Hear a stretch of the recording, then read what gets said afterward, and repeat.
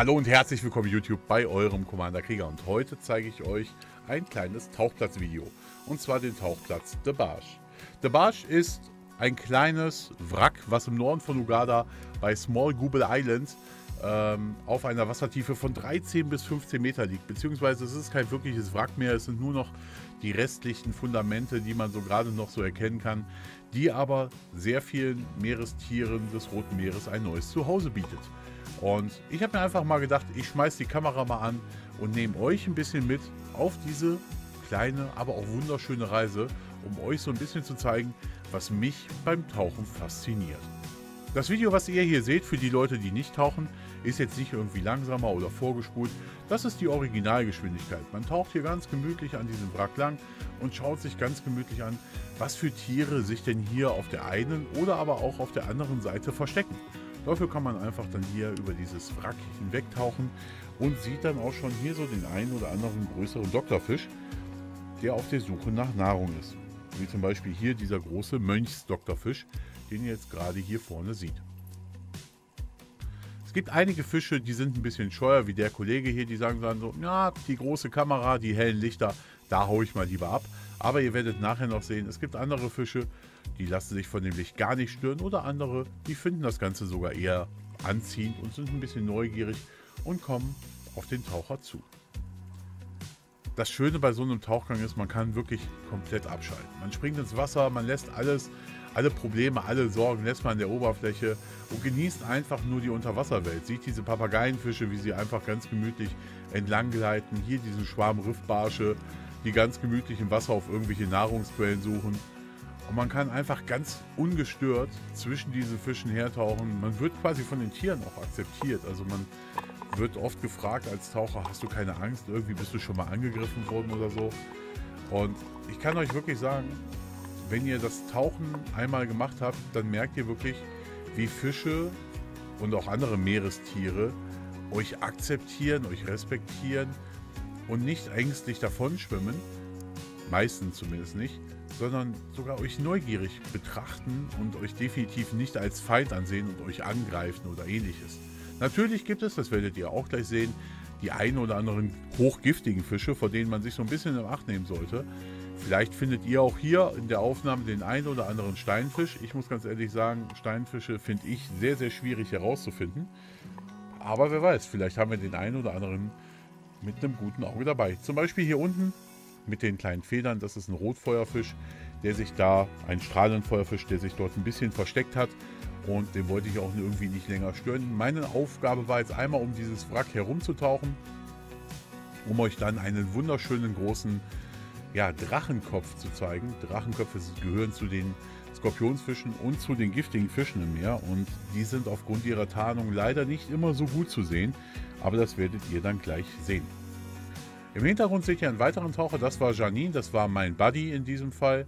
Sie ist in der sogenannten Side-Mount-Konfiguration getaucht, das heißt, man hat beide Flaschen an den Seiten links und rechts und kann so A, erstmal schon mal eine Flasche mehr mitnehmen, eine Tauchflasche mehr mitnehmen. Da sind wir auch direkt bei der nächsten Frage. Wie lange hält so ein Tank? Die Frage kommt auch immer wieder sehr häufig vor. Das kann man ungefähr mit einem Auto vergleichen es ist von Auto zu Auto unterschiedlich. Das eine Auto verbraucht mehr, das andere weniger. Je tiefer man taucht, desto mehr Luft benötigt man aufgrund des Umgebungsdrucks. Und ja, natürlich hängt es auch ein bisschen davon ab, wie aufgeregt man ist. Wenn man zum Beispiel den einen oder anderen größeren Hai sieht, dann kann man natürlich mal ein bisschen mehr Luft verbrauchen und dann ist so eine Flasche natürlich ein bisschen schneller leer. Wir haben uns vor dem Tauchgang abgesprochen, wo wir lang tauchen wollen, was wir sehen wollen, was wir machen wollen. Und meine Aufgabe bzw. meine Vision war einmal mit meiner Kamera um dieses Wrack herumzuschwimmen, dass man so ein bisschen diese wunderschöne ja, Vielfalt der Korallen und der Fische so wirklich einmal begutachten kann. Wie zum Beispiel hier dieser Schwarm Soldatenfische, die sich hier so ein bisschen versuchen, im Schatten des Schiffes so ein bisschen zu verstecken und auszuruhen. Und ich kann euch sagen, es gab auch ein, ich sag mal, ein paar Nachttauchgänge, die wir gemacht haben. Und da dreht sich das Ganze natürlich um. Die Fische versuchen sich zu verstecken und die Prädatoren, die Räuber kommen raus wie große Muränen oder aber auch die Rotfeuerfische werden wesentlich aktiver und versuchen im Lichtstrahl der Taschenlampen irgendwie kleinere Fische, Glasfische zu jagen. Natürlich ist Vorsicht geboten, gerade bei den Korallen, die ziemlich scharf sind oder auch die Überreste vom Wrack. Ich meine, so ein, so ein Stahlsplitter möchte keiner irgendwie in seiner Hand haben. Deswegen sollte man schon so die ein oder andere Taucherfahrung haben. Man muss jetzt hier für so einen seichten Tauchgang der nicht wirklich tief ist, wo es auch so gut wie gar keine Strömung gibt, jetzt nicht mega ausgebildet sein. Also der ist auch für Anfänger zugänglich. Aber man sollte schon aufpassen, dass man nicht auf dieses wunderschöne Korallenfeld, dieses Korallendach drauf fällt, weil dadurch zerstört man nicht nur die Korallen, sondern kann sich auch ernsthafte böse Verletzungen oder gar Nesselwunden zuziehen. Aber dazu werde ich irgendwann noch mal in einem anderen Video kommen, wenn ich dazu ein paar Aufnahmen habe. Ich möchte euch nämlich gerne zeigen, welche giftigen Tiere es gibt, welche stacheligen Tiere es gibt, welche Korallen zum Beispiel, Nesseln etc. Da möchte ich ein bisschen mehr drauf eingehen, weil ich festgestellt habe, dass das den einen oder anderen von euch interessiert.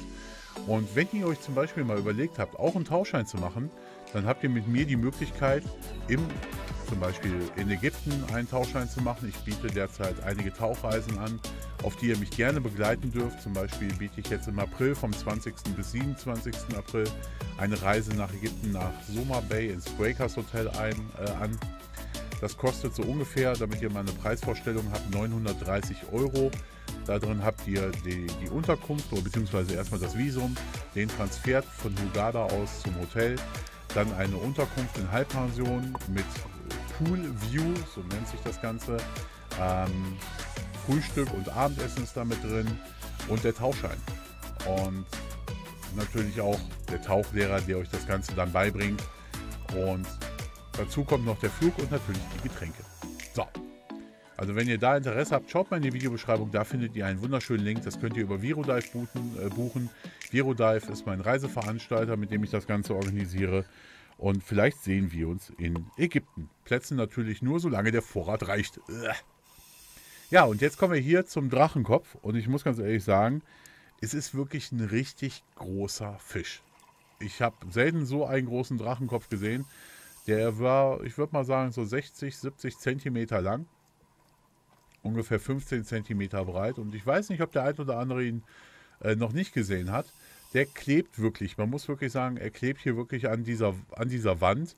Und er sieht mich, er realisiert mich, aber der Kollege denkt sich, ich bewege mich hier nicht weg. Warum? Der hat giftige Stacheln und der braucht sich vor nichts fürchten. Der hängt dort ganz gemütlich und sagt, ey, wenn du mir zu nahe kommst, ich sperre meine Stacheln hoch, musst du selber wissen, ob du dieses Gift haben möchtest. Es ist ein eiweißhaltiges Gift. Wenn man davon gestochen werden sollte, sollte man natürlich A, erstmal den Tauchgang sofort abbrechen und dann die betroffene Stelle in sehr, sehr heißes Wasser äh, packen, denn dieses heiße Wasser neutralisiert das Eiweißgift.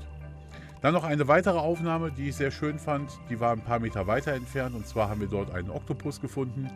Äh, das Besondere bei diesen Oktopoden muss man sagen, ich feiere diese Tiere so dermaßen. Erstmal, ich, sie sind mega intelligent, sie sind farbenblind und können trotzdem so wunderbar ihre, ihre Farben anpassen. Ich glaube, der eine oder andere hat ihn bisher jetzt immer noch nicht gesehen.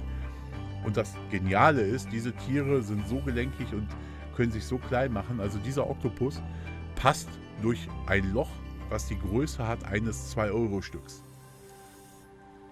Und jedes Mal, wenn ich so einen Oktopus sehe, ich muss sagen, es fragen mich auch viele Leute, hey Krieger, isst du Fisch oder ähnliches? Ich habe früher sehr gerne Tintenfischringe oder Kalamari gegessen oder auch mal einen gebratenen Oktopus. Fand ich damals sehr lecker. Ich finde ihn immer noch sehr lecker.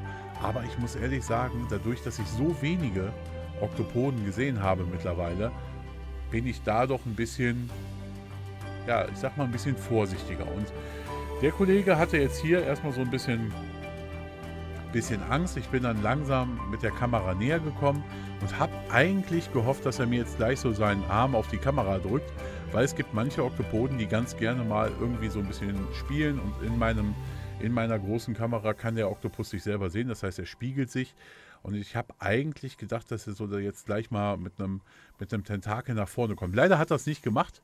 Aber ich kann einfach nur sagen, ich finde es wunderschön, diese Tiere so in der Natur zu sehen.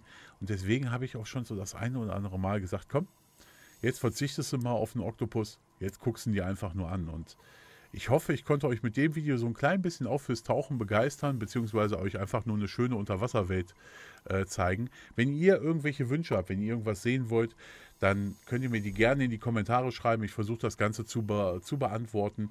Wenn ihr eine Reise machen wollt, ich biete an im April äh, nach Ägypten, im Mai nach Bonaire. September steht noch nicht fest, da wird es wahrscheinlich nach Gozo gehen. Oktober, November geht es wieder nach Ägypten beziehungsweise im Oktober werde ich noch separat nach Guadeloupe fahren und werde mit großen weißen Haien tauchen. Also es stehen eine Menge Tauchreisen an und natürlich auch eine Menge neuer Videos. Und mit dem kleinen Oktopus hier bin ich jetzt raus und sage Gut Schuss. Bis zum nächsten Mal. Euer Commander Krieger. Tschüss.